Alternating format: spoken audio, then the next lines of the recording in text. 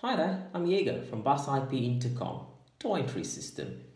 On the previous video, we've seen our SIP cloud call from the outdoor station to the mobile.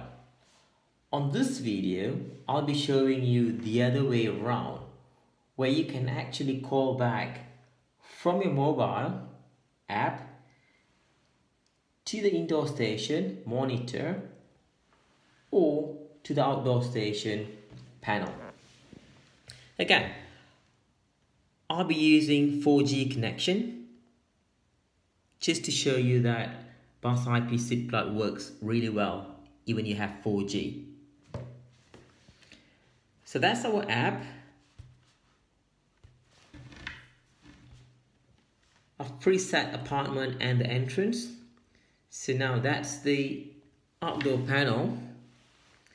So now let's call. So now I've just called the panel won't ring.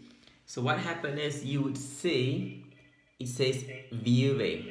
So when it says viewing, you could see on the app already. So it's the same app, it's the same functions, snap pictures, open door, and etc. So let's cancel this call and jump to the next one. So now back. Now let's choose apartment monitor. So let's call the apartment monitor.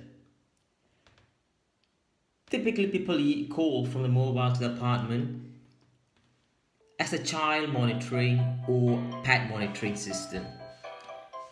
You can have it two ways. Either the video pops directly or you have to press to accept. So once I press, I accept it. If you, you could see, the video just came in very quick in a split second.